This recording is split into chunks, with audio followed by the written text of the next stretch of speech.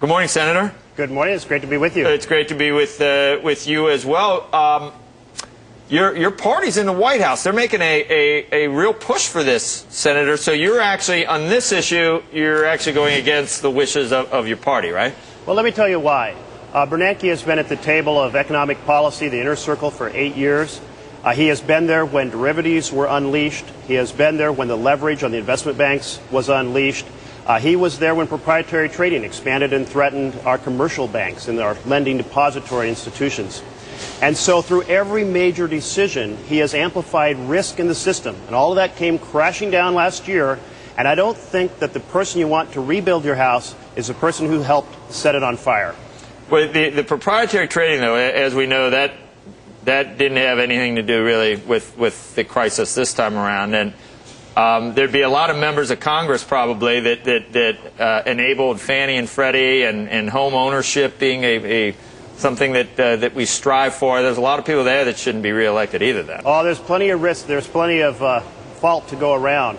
But even when the Fed had primary responsibility for consumer protection, and the mortgage markets in uh, 03, 05 started to do a flip to subprime. And the Wall Street Journal study was 60% of those who were who were getting subprime loans qualified for prime loans because essentially brokers were getting these steering payments to uh, steer people into bad loans.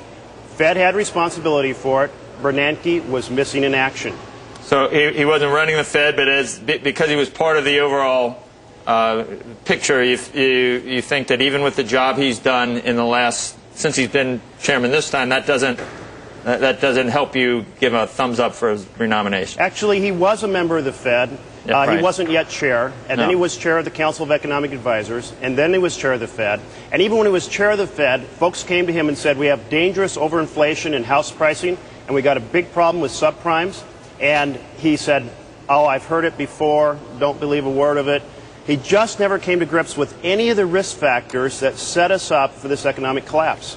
We've we've done a lot of uh, you know look back at, at actually what went into it, and we you know we vilified a lot of the, the, the CEOs as well. It, it's hard to find anyone. There's a few people, but hard to find anyone that realized uh, that the the housing bubble, to the extent uh, that there was one, could result in a 30 or 40 percent drop. I mean, it, you would have had to been. Kreskin probably to figure out the, the, the, all of the ramifications that would come and, and all the, the things that went into it, the AAA rating that you got from the, the agencies, the credit default swaps and AIG, so many pieces of the puzzle of the uh, of the puzzle to get to that. I mean, it's smart smarter guys than, than us. Greenspan, all these guys, Larry Summers.